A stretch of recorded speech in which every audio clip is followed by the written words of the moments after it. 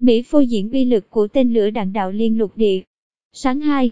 10. Mỹ phóng ICBM Minus bằng 3 từ căn cứ không quân Van Jenbe ở California, Mỹ. Tên lửa rời bệ phóng lúc 1 giờ 13 phút sáng và di chuyển hơn 6. 760 km tới Ayado, quần đảo Marshall của Mỹ ở Thái Bình Dương. Những cuộc thử nghiệm chứng minh tính chính xác và độ tin cậy của hệ thống vũ khí ICBM cung cấp những số liệu giá trị để tiếp tục răng đe hạt nhân an toàn, an ninh và hiệu quả, thông cáo của lực lượng không quân Mỹ cho biết. Không quân Mỹ cũng công bố video về vụ phóng cho thấy thời khắc tên lửa rời bệ phóng và khi tên lửa di chuyển. Đây là vụ thử tên lửa thứ 4 trong năm nay.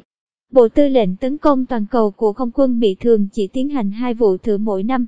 Đại tá Omar Công Bước, chỉ huy phi đội thử nghiệm bay 576 cho biết, Minus Mần Ba đã gần 50 tuổi và tiếp tục phóng thử nghiệm là điều cần thiết để đảm bảo độ tin cậy của vũ khí này tới giữa những năm 2030 khi chương trình Ground-Chester-Yezeren, chiến lược răng đe trên bộ, hoàn toàn sẵn sàng. Quan trọng nhất là thông điệp hữu hình về an ninh quốc gia này nhằm chấn an các đối tác của chúng ta và ngăn chặn những kẻ xâm lược tiềm tàng. Thông cáo cũng nhấn mạnh rằng, vụ thử ICBM không phải là động thái phản ứng hay đáp trả với các sự kiện trên thế giới hoặc căng thẳng khu vực. Tên lửa Minus Mần 3 là sản phẩm của thời kỳ chiến tranh lạnh được triển khai lần đầu năm 1970 và được thiết kế cho các cuộc tấn công chính xác, mang theo vài đầu đạn nhỏ hơn nhằm tấn công, phá hủy các mục tiêu quân sự. Đây là tên lửa đầu tiên áp dụng công nghệ đa đầu đạn phân hướng, MIRV, có khả năng mang 3 đầu đạn hạt nhân, mỗi đầu đạn có sức công phá 170 kiloton hoặc gấp 10 lần sức mạnh của những quả bom mà Mỹ sử dụng để phá hủy các thành phố Hiroshima và Nagasaki của Nhật Bản năm 1945.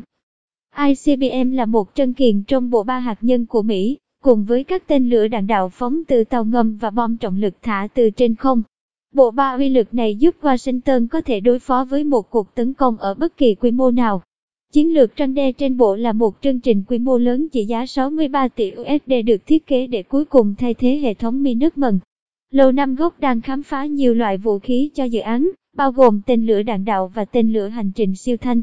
Cơ quan an toàn hạt nhân quốc gia Mỹ cũng đang phát triển các loại bom trọng lực mới, bao gồm cả những loại được thiết kế để sử dụng dễ dàng hơn trong các tình huống phi hạt nhân. Hải Anh